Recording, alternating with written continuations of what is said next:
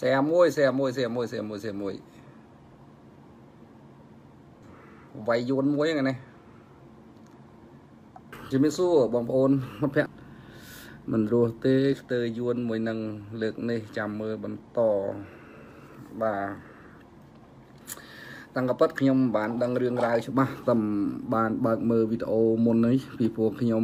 ម្សិលមិញនេះគ្រាន់តែអុចធូបសែនហើយខ្ញុំចេញមកបាងកក បាទដើម្បីណាត់ពេទ្យល្ងាចនេះពិនិត្យសុខភាពផ្ទាល់ខ្លួនมันមានជំងឺអីធ្ងន់ធ្ងរទេតែគាត់ថាយើងមានបញ្ហាកាពះតិចតួចមកជួបពេទ្យព្យាបាលហើយទៅ ដើម្បីកុំឲ្យវាត្រុតត្រោមទៅចាំនាំគ្នាទៅមើលអានឹងវាមិនកើតទេតនេឆ្លៀតពេលមកមើលសុខភាពឲ្យហើយ អញ្ចឹង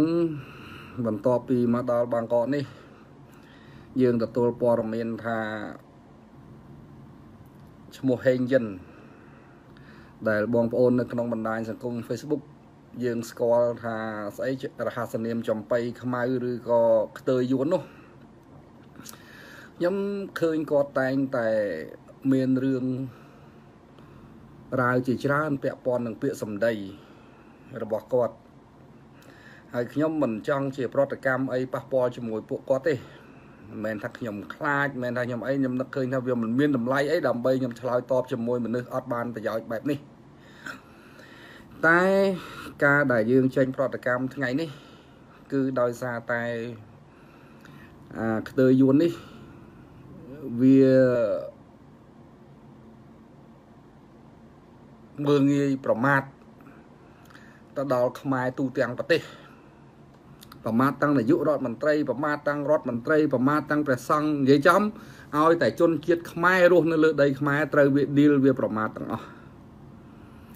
តាំងកពិតបើសិនជាវាញែកឲ្យដាច់រវាងបុគ្គល3នាក់ដែលវាយវានោះវានិយាយដល់3នាក់នោះទៅអានោះគេអត់ថាអីគេអត់ប្រតិកម្មទេតែដល់ដល់ពេលវាយកអាកំហឹងខឹង3នាក់នោះហើយយកមកវាយខ្មែរទូទាំងប្រទេស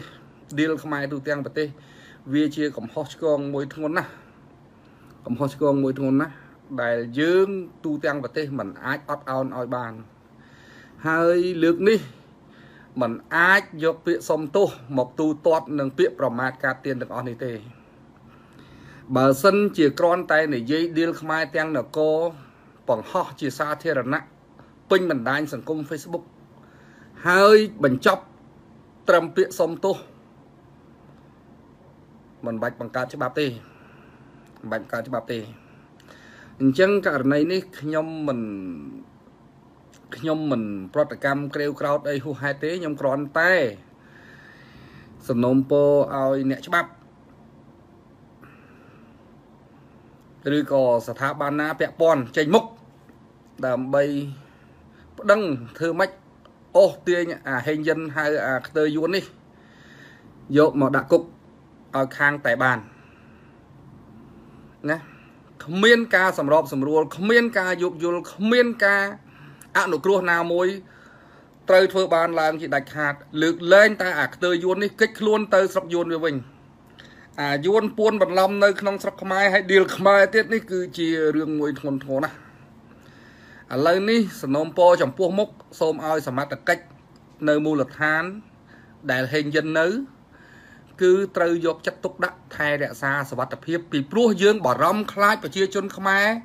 ផ្ទុះកំហឹងនាំគ្នាទៅសម្រាប់វាដល់ផ្ទះនោះព្រោះរឿងនេះធំធ្ងន់ធំណាស់បើសិនជាអាញាធរធ្វើប្រហែសកំហឹងមហាជននឹងទៅវាយ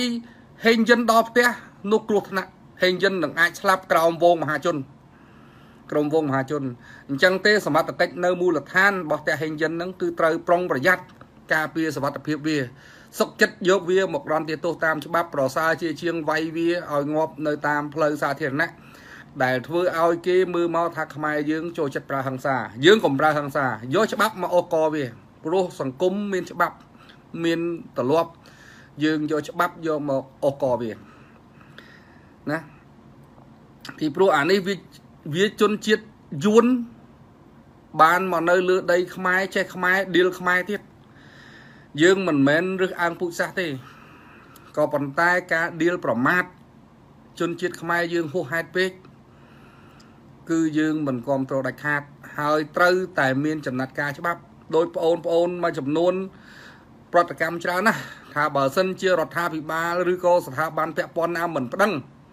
គឺបងប្អូនសុកចិត្តចេញប្តឹងខ្លួនឯងតែម្ដង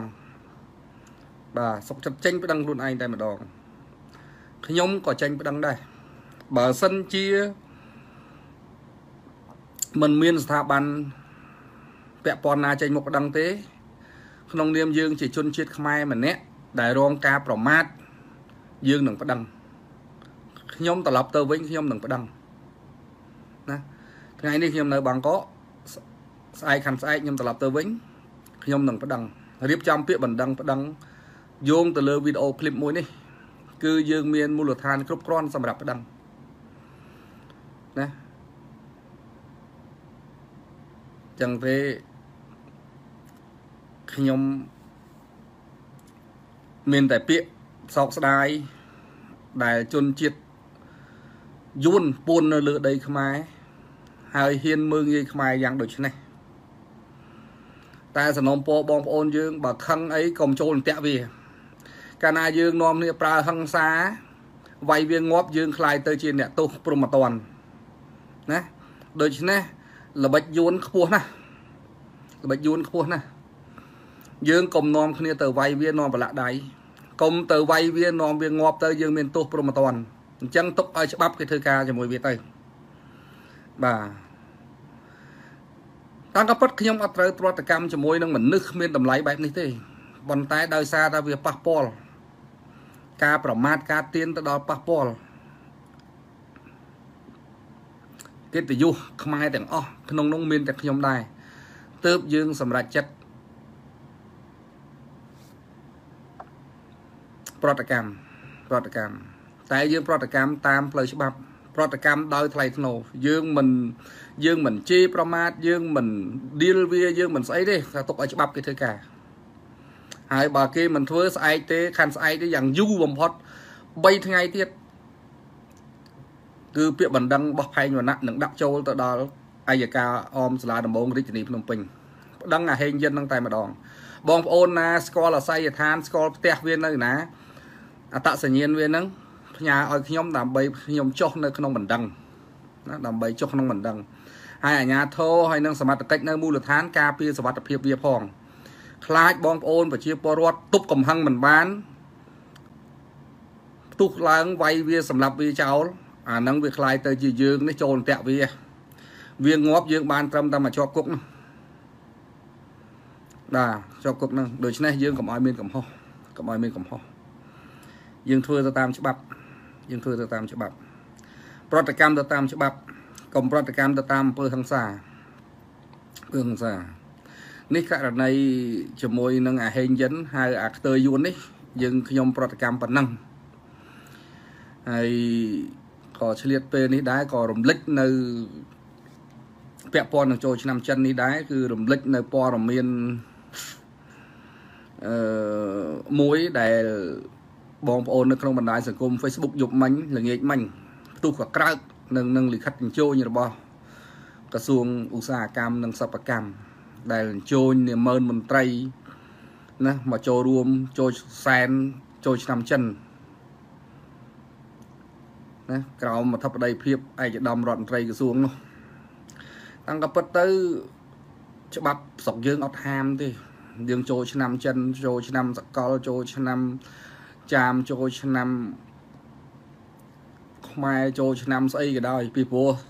ច្បាប់រដ្ឋធម្មនុញ្ញយើងបើកទូលាយជំនឿសាសនាប្រពៃណីបើកទូលាយនរណាចូលអីក៏បានដែរតែស្ថាប័នជាតិត្រូវកាត់ផ្ដាច់ចេញដោយឡែក សាសនាព្រះពុទ្ធគឺជាសាសនារបស់ជាតិបុណ្យរបស់ជាតិចូលឆ្នាំខ្មែរចូលឆ្នាំខ្មែរគឺមានតែមួយគត់គឺថ្ងៃទី13 14 15ខែមេសាអញ្ចឹងមានតែចូលឆ្នាំខ្មែរទេ ដែលអស់លោកនិមឺនមន្ត្រី អាចធ្វើពិធីសូត្រមន្តនៅទីកន្លែងស្ថាប័នរដ្ឋគ្រប់គ្រប់គ្នាបានតែ បុណ្យខុសពីនឹងมันអាចយកស្ថាប័នរដ្ឋមកធ្វើជាទីកន្លែងជួបជុំគ្នា ដើម្បីចូលឆ្នាំចិនចូលឆ្នាំចាមឬចូលឆ្នាំអាមេរិកចូលឆ្នាំសកលឯណាទេខុសវាមិនខុសប៉ុន្តែវាមិនសមខ្ញុំមិនហ៊ាននិយាយថាពាក្យខុសទេពីព្រោះវាអត់មានចែងក្នុងច្បាប់ តែគ្រាន់តែប្រើពាក្យថាវាមិនវាមិនសមអញ្ចឹងទេយើងអាចធ្វើនៅផ្ទះយើង ឯកឧត្តមណាចង់ធ្វើធ្វើនៅផ្ទះឯកឧត្តមហ្នឹងទៅហៅកូនចៅមន្ត្រីអីទៅចូលរួមទៅហ្នឹងហើយតែដល់ពេលយើងធ្វើនៅកន្លែងស្ថាប័នហើយអេបើដាក់អញ្ជើញអញ្ជើញមកកុំដាក់ចូលឆ្នាំចិនមិនអីទេដល់ពេលលិខិតអញ្ជើញហ្នឹងដាក់ដើម្បីចូលរួមសែនចូលឆ្នាំចិនណែចូលរួមសែនចូលឆ្នាំចិនដល់ដល់ពេលគេប្រតិកម្មច្រើន ទៅជាថាលិខិតហ្នឹងคล้ายคล้ายណាអាលិខិតហ្នឹងคล้ายคล้ายហ្នឹងទី1ទៅទី2 ទៅ ជាដោះសារថាមិនមែនសែនចូលឆ្នាំចិនទេគេសែនព្រះភូមិអីចូលប្រភូមិថ្ងៃណាមិនសែនមកសែនចំថ្ងៃនឹងជន់គ្នាមួយឆ្នាំចិនតែដល់ពេលខ្លឹមសារលិខិតដាក់សែនចូលឆ្នាំចិនក្រៅមធិបតីភាពឯកឧត្តមរដ្ឋមន្ត្រីចឹងទៅនេះជាចំណុចខ្វះខាតទូចទេដល់ក៏ពិតទៅបើសិនជាគាត់អាចសុំទោសអាចថាវាជាកំហុសបច្ចេកទេសអីតិចបន្តួចយើងនិយាយដោះសារទៅវាល្អជាជាងយើងនិយាយបដិសេធ ហើយទៅអាលិខិតសរសេរខ្លួនឯងអញ្ជើញគេឯងពេញទឹកពេញដីណាណាមន្ត្រីណាក៏ទទួលបានដែររួចហើយទៅជាថាខ្លែងខ្លាយដល់ចេះស្ថាប័នមួយចេញលិខិតហើយស្រែកចេញខ្លួនឯងស្រែកថាខ្លែងខ្លាយខ្លួនឯងអានេះគឺជាការកិច្ចវេះមិនទទួលខុសត្រូវដែលជាទម្លាប់អាក្រក់មួយទម្លាប់អាក្រក់មួយរឿងហ្នឹងទូចខ្ញុំមិនចង់លើកយកមកនិយាយប៉ុន្តែគាត់ថាវាមិនសមបាទបើយើងជាជ្រុលតែចេញហើយយើងសុំទោសអាចវាជាកំហុសបច្ចេកទេសអីចឹងទៅ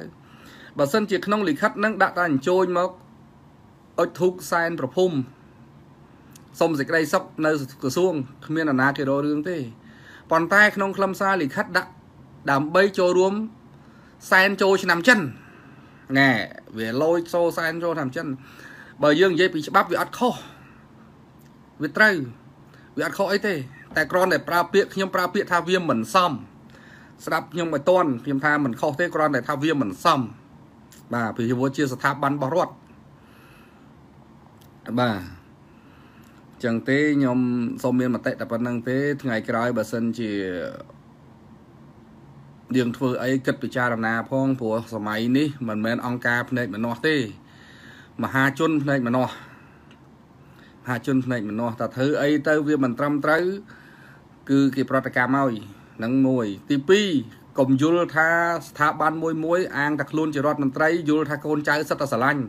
មែនទេណាក្នុងលិខិតផ្ទៃក្នុងនេះបើសិនជាមន្ត្រីនៅក្នុងពាក់ព័ន្ធដែលត្រូវគេអញ្ជើញឲ្យមកចូលរួមហ្នឹងរុញចេញក្រៅទេគ្មាននរណាដឹងទេព្រោះជារឿងផ្ទៃក្នុងរបស់ស្ថាប័នក៏ប៉ុន្តែដល់តែពេលទង្វើហ្នឹងឆ្គំឆ្គងគេមិនពេញចិត្តគេបាញ់ចេញក្រៅបាញ់ចេញក្រៅទៅ វាបែកធ្លាយបែកធ្លាយទៅជាបដិសេធថាคล้ายคล้ายទៅអឆ្លើយតែคล้ายคล้ายមួយម៉ាត់ទៅចប់ឯងអ្នកផុសហ្នឹងមិនស្រួលផុសព័ត៌មានคล้ายคล้ายមានទោសទៀតណែវាទៅជាចេះទៅទៀតអញ្ចឹងបានថាយើងពិបាកណាស់សូមឲ្យមន្ត្រីចេះភ្ញាក់រលឹកខុសដឹងខុសត្រូវដឹងត្រូវ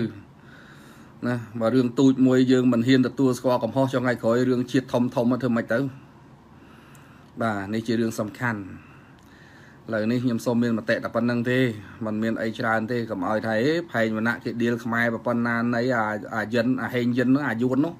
អាយួនអាយួនខ្ទើយហ្នឹងមិនក៏មិនប្រតិកម្មនៅគឺខ្ញុំប្រតិកម្មហើយណាខ្ញុំសូមមានមតិប៉ុណ្ណឹងសូមអស់ហើយសូមជូនពរបងប្អូនក្នុងឱកាសចូលឆ្នាំថ្មីបៃនេះចិននេះសូមឲ្យបងប្អូនទាំងអស់ ជួបប្រទះតែសេចក្តីសុខសេចក្តីចម្រើនហេងហេងទាំងអស់គ្នារកស៊ីមានបាន មានទ្រព្យសម្បត្តិហូរហៀជាពិសេសអញ្ជើញធ្វើដំណើរទៅកំសាន្តទៅទីជិតឆ្ងាយសូមឲ្យជួបប្រទះតែសេចក្តីសុខសេចក្តីចម្រើនជួបតែសុវត្ថិភាពកុំឲ្យគ្រប់កុំឲ្យជួបគ្រោះជួបភ័យណាឲ្យសុខសប្បាយទាំងអស់គ្នាណាសូមអរគុណសូមជម្រាបលាបងប្អូនទាំងអស់គ្នា